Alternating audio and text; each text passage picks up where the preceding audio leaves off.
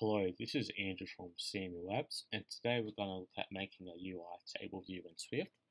So to start off with, we've just got this blank single view application project in Xcode here, and we're going to start off in the view controller. To start off with, up the top, we'll go at IB outlet,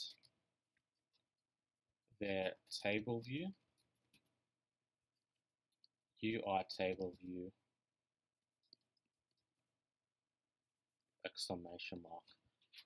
Now from here we're going to go over to our storyboard. In the bottom right we need to find a table view controller.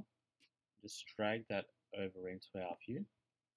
And once that's in our view, hold the control key down on it, drag up to view controller, select data source, and then do the same for delegate. Now on view controller, just right click on here, and you'll see under outlets there'll be a table view hover over the circle and you'll see a plus button appear. And what you need to do, you need to drag that to our table view and that connects that IB outlet earlier we made directly to our table view in the storyboard. So we're going to go back to the view controller and up in the class we need to add two things. The first one is UI table view delegate. The second one is UI table view data source.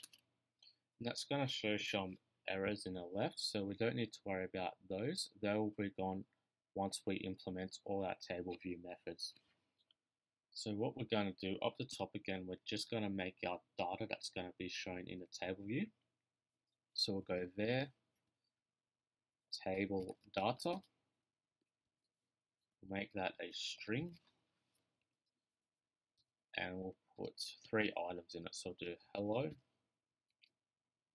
comma, my, comma, table.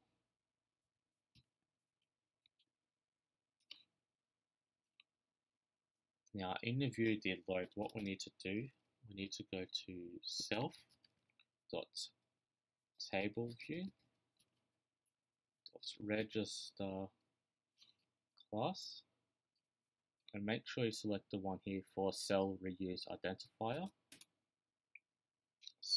So in here we go UI table view cell dot self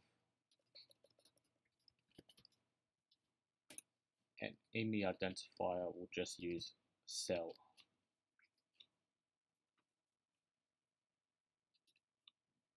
Now what we need to do, we need to implement our methods for the table view to display the data. So the first one we need to do is number of rows in section. And that basically tells the table how many rows to show. So what we want to do, we need to show three rows for our table data here. So to do that, we go return self table data dot count. Now the second method we need to do is the cell for row at index path, which is here. And basically what this does, it creates each row, the view, whatever text or pictures you put in, this is where it's made.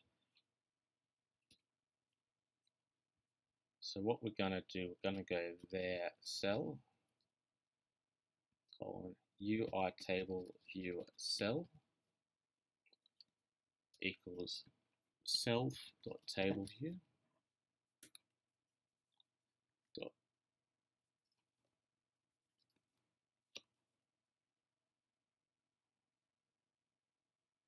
go reusable cell with identifier. In here we do cell and we do as UI table view cell. Now what we're going to do, we're going to make the text that's shown in our table. So to do this, we go cell dot text label dot text equals self dot table view sorry self dot table data in here we do brackets index path dot row. And in this text label, make sure to put a little question mark at the end of it. So what that's doing, it's getting our table data from here and sh showing it in each row. And at the end, we do return cell. And the last method we need to do is called did select row at index path. And basically, every time you tap a row in the table view, it runs this method here. So what we're going to do, we're just going to print out a line to the console showing us what row we selected. So in here we'll do row, we'll do slash brackets, index path, dot row, brackets, selected, brackets. So if I just correct this here, we start the application, we should see our table view running. So here we go, we've got hello, my table. If we click on my, down here will show row 1 selected, table, row 2 selected, hello, row 0 selected. So sometimes you might want to modify the data in a table view. So say we want to add an item to our table data called Seemu. We'll just go table data dot append Seemu. What you may need to do is use self.tableview.reload data because sometimes it doesn't necessarily reload the data, so you may need to manually activate it. So if we go run it now, we'll see our Seemu item added as well. So I've included a download link to the completed project below as well. And remember to subscribe for more tutorials.